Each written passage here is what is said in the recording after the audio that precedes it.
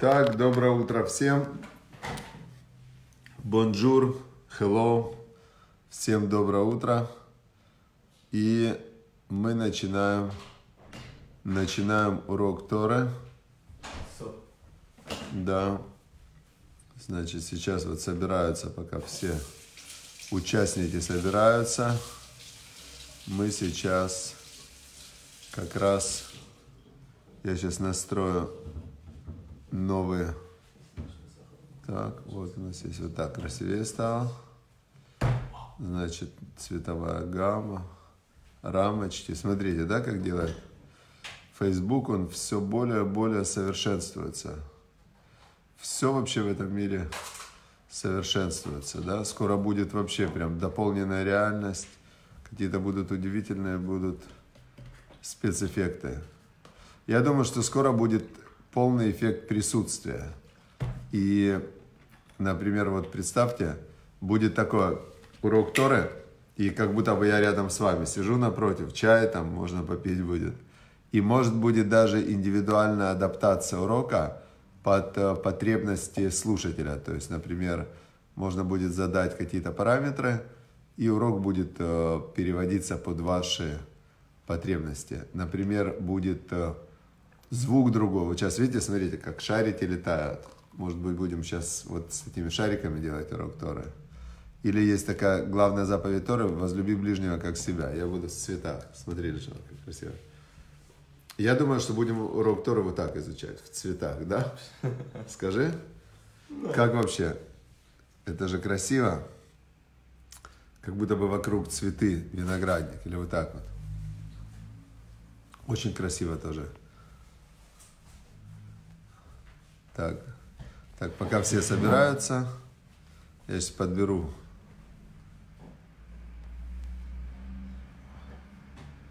Вот неплохо с чайками. У меня когда-то была одна из любимых книг «Чайка по имени Джонатан Ливингстон». Чайки и снежинки.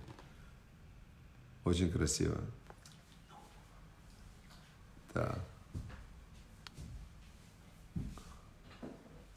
Так, хорошо, все, все уже собрались.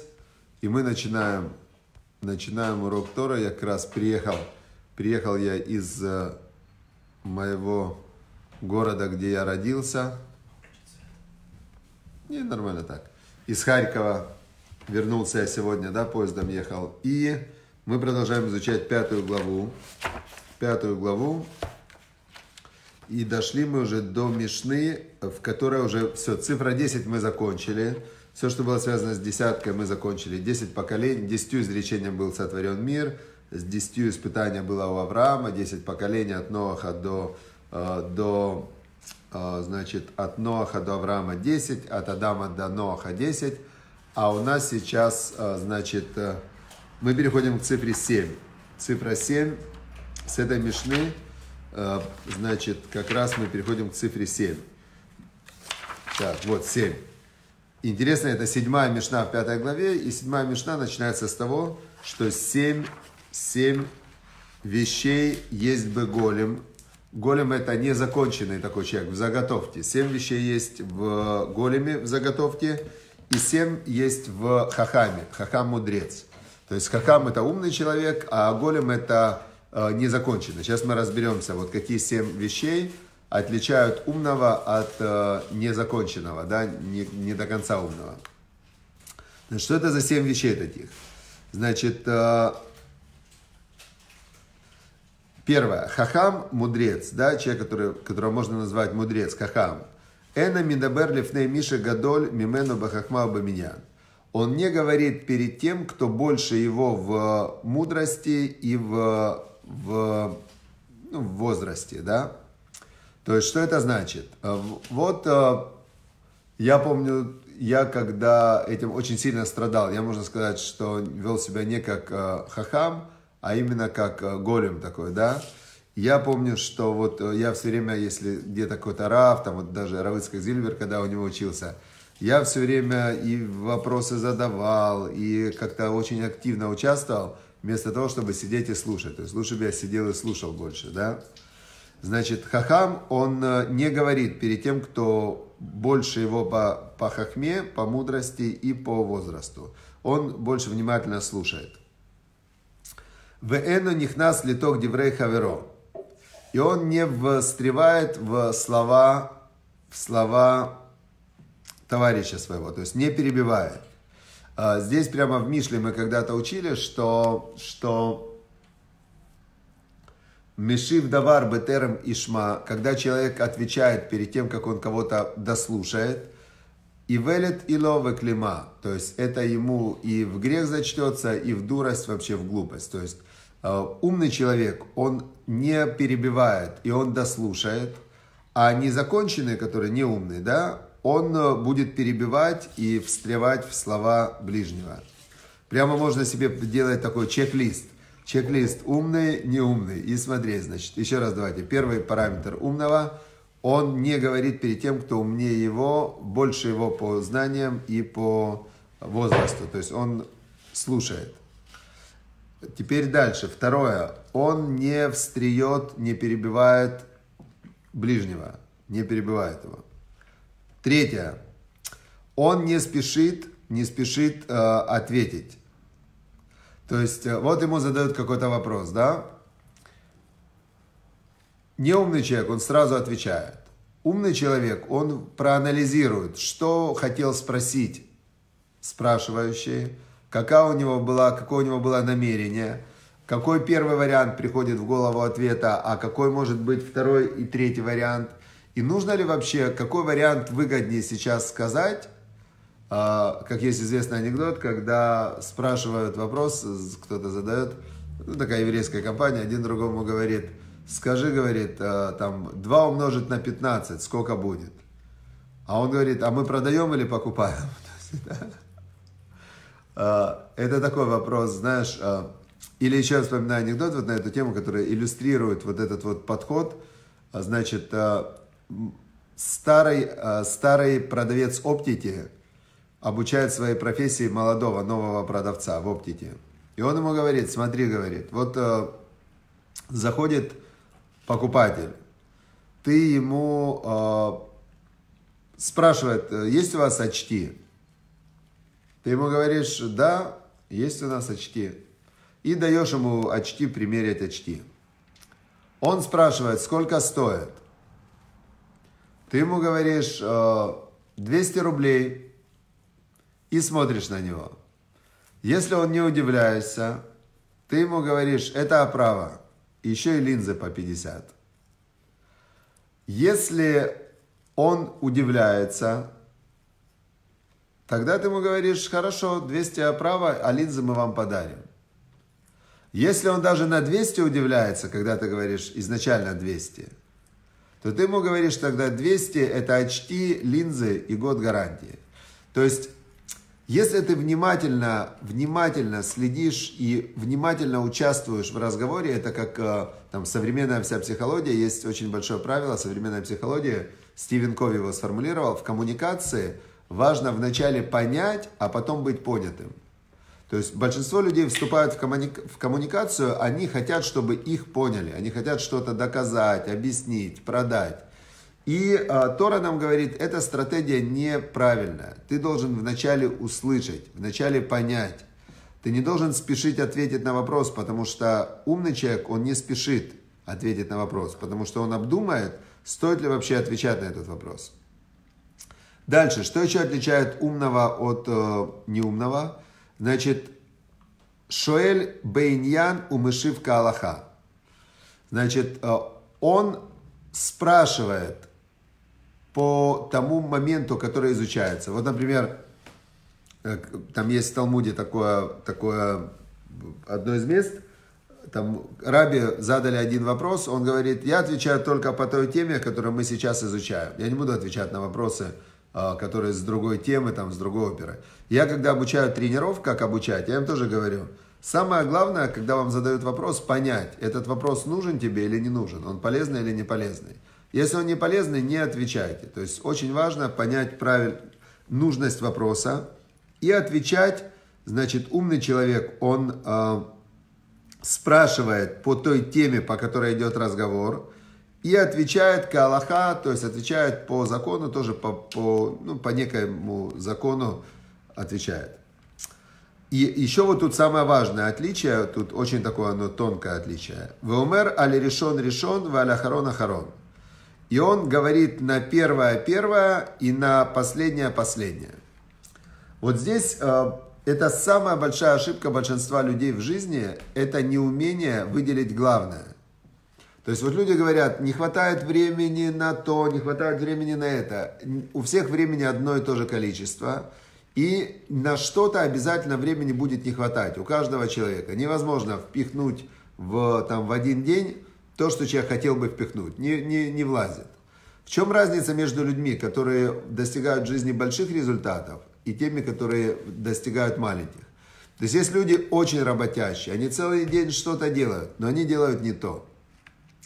Они делают не то, они делают не приоритетно. Например, э, человек начинает соблюдать заповеди. Вот он начинает соблюдать заповеди. Я сколько раз видел, вот он приходит в синагогу, и он читает э, там Псукейда Земра или какие-то там э, брахот говорит. Прямо он говорит, и, очень, и проходит время чтения Шма. А время Шма, в, есть время прочтения Шма Исраэль, это до определенного времени. И получается, что он из-за подготовительных вещей теряет основное. То есть э, вся подготовка ведется к тому, чтобы сказать Шма Исраэль вовремя, во время, когда это, ну, когда это заповедь. Если ты из-за подготовки потерял главное, какой в этом был смысл? То же самое, человек на работе должен выделить, э, есть закон Парета, это такой очень известный закон – он говорит о том, что 20% усилий приносит 80% результатов. И 80% усилий приносит 20% результатов. Как-то они это посчитали. Теперь, если взять 20% самых эффективных действий, которые приносят 80% результатов, и из них выделить тоже 20% самых эффективных, то получится, что 4% действий приносят 64% результатов. То же самое в заповедях. Например, в наше время, вот мы живем сейчас во время, когда нет храма, нету царя, осталось всего лишь 77 заповедей истории, которые мы можем потенциально выполнить. Но человек, который религиозный, который не знает именно эти 77 заповедей, он может выполнять все, что угодно, но эти заповеди не выполнять. Получается, что у него вся его суета, она вся крутится вокруг вещей неважных, а важные вещи он не делает. То же самое в разговоре. В разговоре, в каком-то бизнесе, в каких-то переговорах. Очень важно научиться выделять главное и отвечать на первое, вот расставить акценты, чтобы у тебя было первое первым, а второе вторым. И не перепутать. Потому что большинство людей, вот я считаю, это самая частая ошибка в Торе, в жизни. Неумение выделить главное, неумение выделить основное, неумение упереться вот в тот рычаг – который является таким главным рычагом да, для результатов, для жизни. И э, из-за каких-то вещей вообще неважных, второстепенных, люди теряют, э, ну, теряют главное в жизни. Вот. Теперь умный человек, он э, умеет, э, он умеет сказать на первое первое, а на последнее последнее. Это самое, я считаю, главное отличие умного человека, умение выделить главное, основное – Например, когда человек говорит, мне на Тору не хватает времени. А я понимаю, что какая, ну, то есть, какой смысл в работе, если не будет везения, а везение дает Бог, то какая, ну, что может помочь, что может помочь, э, значит, э, человеку, что может помочь человеку его вся работа, если не прет. А если Бог захочет, то может разрушиться любой процесс, любой бизнес, любое дело, любая жизнь в три секунды. Поэтому Тора, я считаю, она первична. И Самое важное, вот то, что мы сейчас с утра учимся, 10 утра собрались уже 114 человек, слава Богу, в прямом эфире, показали, а, а, показали, что понимают, что есть важное, что не важно. Э, я говорю сейчас по, по Рабейну Йона, вот перевод может быть такой, что на вопрос отвечать начиная с первого, а заканчивать последним, но Рабейну Йона говорит, что это не так, это не это как бы и логично, то есть, что ты отвечаешь на первое первым, на второе вторым. То есть тут он имеет в виду, что умение выделить главное и ответить на первое по важности первым, а на второе по важности вторым. И если ты понимаешь, вот, например, человек задает вопрос, а, значит, он задает вопрос, приведу пример. А, какая погода в Одессе и поедем ли мы в Одессу? Он задает два вопроса. Но я, если уже знаю, что мы в Одессу не поедем, мне нет смысла отвечать на первый вопрос, какая погода в Одессе. Потому что он спрашивает, какая погода в Одессе и когда мы выезжаем в Одессу. Теперь, если мне в, мы в Одессу не выезжаем, так отвечать на первый вопрос первым не имеет смысла. Мне нужно сразу сказать, ты знаешь, мы в Одессу не едем. Ответить, мы в Одессу не едем, поэтому какая погода там не важно, раз ты туда не едешь. То есть это, это то, что объясняет Рабейну Йона, и с первого взгляда, когда ты читаешь перевод, это непонятно, что надо уметь выделить главное и ответить на главное главное, а из этого следует все остальное второстепенное. Это, это более ну, такое правильное понимание этой мешны. И э, следующее развлечение между умным и неумным, э, значит, э, умный человек, а альма шело шама, умер ло шамати. Он говорит, э, то есть очень важно различать между тем, что ты от кого-то слышал, и догадками. Потому что обычно у, ну, просто у человека, да, у него смешивается все в голове, у него в голове все смешано, и он, значит, то, что слышал, то, что думает, то, что предполагает, а, он все это смешивает в одно. И когда он говорит кому-то, он может, например, начать вот с такой фразы. На самом деле, я сейчас вам расскажу, как оно есть на самом деле. И он таким образом, а, ну как бы вот изначально он ставит такую печать, что я знаю, как на самом деле. При этом то, что он сейчас будет рассказано, смешано из того, что он слышал от кого-то, из того, что он думает сам, из того, что он додумал, из того, что он предполагает. Умный человек говорит не так. Он говорит, вы знаете, я слышал от э, такого-то, вот от Макса Раго, Раго, Рагольсти, я слышал, что он сказал мне вот так. А, а вот эту вещь, я думаю, я сам додумал из того, что он сказал. То есть он не скажет, что на то, что он додумал, то, что он это от кого-то слышал. Понятно, да? То есть то, что я не слышал, я говорю, я не слышал, я это сам додумал. Понятно, да, вот эта разница. Теперь э, есть еще в Талмуде, в Медиле, есть очень красивое такое да, выражение, что Аумер давар бешем амро мы видим лали улам.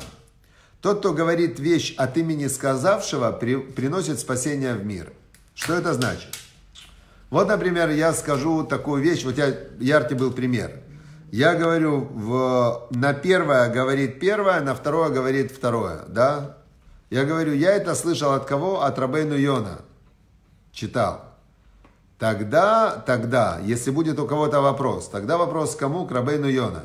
То есть я, даже если Рабейну Йона, а, а кто-то мне скажет, а я слышал, там Араб Бартанура объясняет, Бартанура объясняет по-другому.